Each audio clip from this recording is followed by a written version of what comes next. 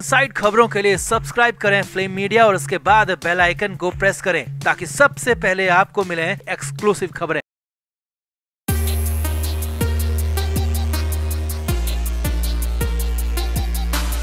सुशांत सिंह राजपूत की पहली बरसी आने वाली है। 14 जून की तारीख नज़दीक है और 14 जून ही वो दिन है जिस दिन सुशांत के परिवार की, सुशांत के फैंस की, सुशांत के चाहने वालों की दुनिया बर्बाद हो गई।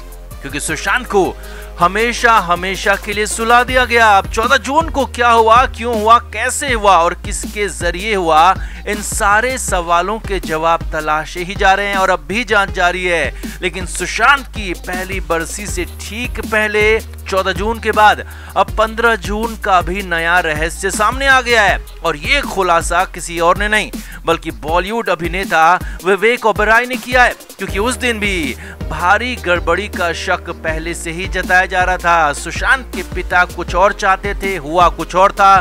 बहनें कुछ और चाहती थी, हो कुछ और गया था। और अब तो विवेक ओबरॉय ने बहुत सारी बातें कह दी हैं। अब क्या क्या कहा विवेक ने? कैसे कर दिए बड़े खुलासे? और अब आगे क्या हो सकता है, वो भी आपको बताएँगे। आप भी इस वीडियो को शेयर करें और कमेंट करके अपनी राय हमें ज़रूर दें।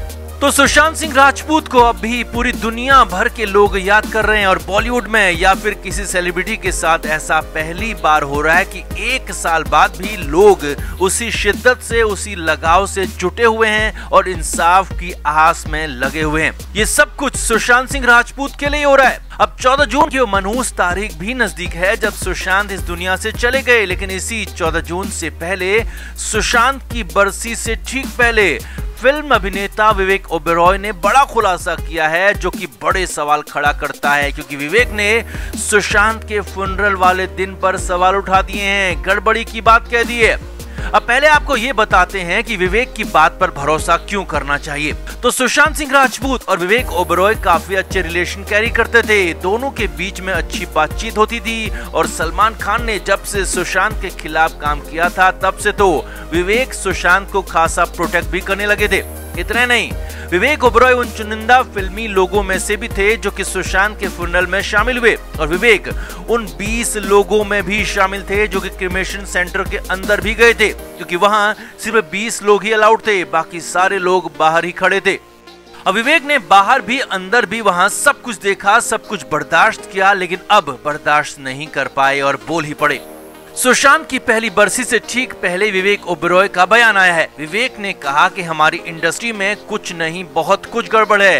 लेकिन फिर भी कोई ये मानने को तैयार नहीं होता कि इंडस्ट्री में गड़बड़ी है या फिर यहाँ सब कुछ ठीक नहीं है। विवेक ने आगे कहा कि जो यहाँ गिर जाता है, उसे और गिरा दिया जाता है और फिर उसे उठने ही नहीं दिया जाता और रास्ते से हटा दिया जाता है, क्योंकि यहाँ ढलान पर जाने वाले लोगों को बर्दाश्त नहीं किया जाता। विवेक ने आगे कहा कि पिछले साल हमने बहुत बड़ी ट्रेजिडी झेली है, जब सुशांत इस दुनिया से चला गया। लेकिन फिर भी उसके बाद भी हमने कुछ नहीं सीखा, हमने कुछ नहीं बदला। विवेक ने सुशांत का नाम लेकर कहा कि सुशांत के वक्त भी, सुशांत के जाने के बाद भी हमने कुछ भी नहीं सीखा, क्योंकि हमारी इंडस्ट्री और यहाँ के लोग कुछ भी सीखना और बदलना नहीं चाहते हैं। विवेक ने कहा कि जो सुशांत के साथ गलत हुआ, उसकी कोई बात नहीं करता। सारे लोग सुशांत को ही दोष देते हैं। विवेक ने आगे कहा मैंने भी अकेलापन झेला है, मैंने भी परेशानियाँ झेली और मैं जानता हूँ कि इसमें कितने सपोर्ट की ज़रूरत होती है, लेकिन किसी ने न तो मुझे और न ही सुशांत को सपोर्ट किया और न ही साथ दिया। अब यहाँ पर विवेक ओबेरॉय ने एक बार फिर कहा कि जब मैं सुशांत के फुंडल में गया था तो वहाँ भी मुझे गड़बड़ी लगी थी, क्योंकि इंडस्ट्री में सब कुछ ठीक नहीं है और लोग इसे ठीक नहीं करना चाहते हैं। अब यहाँ पर समझने वाली बात यह है कि विवेक ओबरॉय सुशांत के फुंडल में शामिल हुए थे और तब भी विवेक ने कई तरह के सवाल उठाए थे और अब भी विवेक ने सुशांत को लेकर, फुंडल को लेकर, उस दिन को लेकर 15 जून को लेकर बहुत कुछ कहा है, बहुत कुछ गड़बड़ी की बात कही है, गड़बड़ी के सवाल उठाए हैं। अब ऐसे में माना जा रहा है कि विवेक ने फुंडल में कुछ तो ऐसा देखा होगा जो कि सामान्य नहीं था, या फिर कुछ तो वहाँ पर अलग था, कुछ तो गलत था। नहीं तो विवेक ओबेरॉय इसे लेकर, पंद्रह जून को लेकर सवाल बिल्कुल नहीं उठाते। वैसे आगे बढ़ने से पहले आपको एक और बात बता दें कि वो ये कि सुशांत के पिता के के सिंह सुशांत का फुंडल पटना में करना चाहते थे। वो सुशांत को पटना लेकर जाना चाहते थे, लेकिन उन्हें ऐसा नहीं करने दिया गया। अब ये किसने दबाव डाला, किसने नहीं करने दिया गया, ये अभी तक पता नहीं चला है, लेकिन सुशांत को पटना नहीं ले जाने दिया गया। इतना ही नहीं सुशांत को लेकर यह भी आरोप लगा कि जल्दबाजी में उनका पीएम किया गया और जल्दबाजी में ही रात को उनका पीएम किया गया, रात में रिपोर्ट बनाई गई और जल्दबाजी में ही अंतिम संस्कार भी कर दिया गया।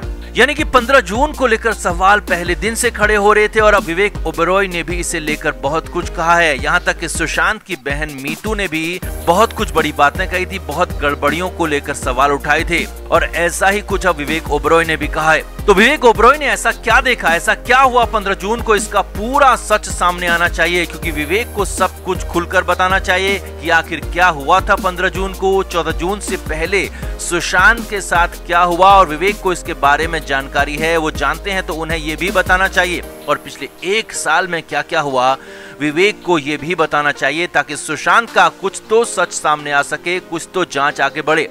और फुनरल के दिन की 15 जून के दिन की वो पूरी बात भी सामने आए, पूरा खुलासा भी हो सके, जिसकी शुरुआत, जिसका एक सिरा विवेक ओबरॉय ने यहाँ पर पकड़वाया तो आपका विवेक के इस खुलासे पर 15 जून की इस गड़बड़ी पर क्या कहना है? क्या वाकई में 15 जून को गड़बड़ी हुई थी? 14 जून की तरह 15 जून को भी क्या कुछ गड़बड़ हुआ था? कमेंट करके आप भी ज़रूर बताएँ और वीडियो को शेयर ज़रूर करें। तो सुशांत सिंह राजपूत को लेकर अब तो सभी जानते हैं कि वो कितने शार्प माइंड के थे, कितने ब्रिलियंट स्टूडेंट थे। साइंस प्लैनेट्स गैलेक्सी और क्वांटम फिजिक्स में उनकी ज़बरदस्त दिलचस्पी थी। यहाँ तक कि उन्होंने अपने घर पर एक हाई पावर टेलीस्कोप तक रखा हुआ था। इतना ही नहीं, सुशांत के बारे में ये भी खबरें आई थी कि सुशांत ने तीन ऐसी कंपनियाँ रजिस्टर्ड कराई थी जो कि साइंस पर काम कर रही थी और इनमें रिया चक्रवर्ती भी साझेदार थी। अब इन सब के बीच अभिनेता प्रतीक बब्बर का बयान आया है, जिसके बाद तो एक बार फिर से चर्चा उठने लगी है कि क्या सुशांत को उनकी साइंस राइवलरी के लिए खत्म कर दिया गया? क्या सुशांत को उनके शार्प दिमाग की वजह से, उनके पेटेंट की वजह से खत्म कर दिया गया। प्रतीक बब्बर ने सुशांत के साथ छिछोरे फ़िल्म में काम किया था और प्रतीक ने एक इंटरव्यू में सुशांत को लेकर बहुत सारी बातें कही हैं। प्रतीक ने बताया कि वो और सुशांत अक्सर किसी इवेंट्स में या फिर जिम में मिलते थे और उनकी काफ़ी अच्छी बातचीत होती थी। और फिर छिछोरे फ़िल्म में उनके साथ काम करने का मौका मिला। प्रतीक बब्बर ने बताया कि सुशांत जैसे इंसान थे, वैसा कोई हो नहीं सकता। उनका एक अलग और था, वो सबसे अलग थे। सुशांत सेट पर सबके साथ मज़ाक करते रहते थे, लेकिन ये भी ध्यान रखते थे कि सामने वाले को भी इसमें मज़ा आए। यानी कि सुशांत सिर्फ़ अपने एंजॉय के लिए मज़ाक नहीं करते थे, बल्कि सबको खुश रखने के लिए मस्ती मज़ाक किया करते थे। आगे देखिए, प्रतीक बब्बर ने कहा कि सुशांत यूनिक थे और सबसे अलग भी दिखते थे। जब भी मिलते थे तो गर्मजोशी के साथ मिलते थे। प्रतीक ने बताया कि वो सबसे बातचीत करना चाहते थे और इसीलिए अक्सर सेट पर ही बैठे रहते थे। वेनिटी वैन में नहीं के बराबर जाते थे। यही नहीं, प्रतीक ने बताया कि सुशांत साइंस फिजिक्स प्लैनेट्स और गैलेक्सी के बारे में खूब सारी बातें किया करते थे। उन्हें बहुत ज़्यादा एक्सट्रीम नॉलेज थी। अब इसके आगे जो प्रतीक बब्बर ने कहा, उसने सभी को हैरान कर दिया। हालाँकि कई लोग इसे डिकोड नहीं कर पाए, मगर हम इसे भी डिकोड करेंगे। तो प्रतीक बब्बर ने बताया कि सुशांत सिंह राजपूत ने कहा था कि वो छिछोरे फ़िल्म करने के बाद अंटार्कटिका जाएँगे और वहाँ कुछ रिसर्च करेंगे।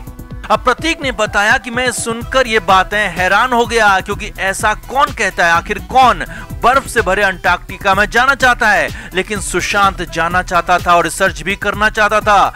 यानी कि सुशांत के माइंड में बहुत कुछ चल रहा था। Flame media report.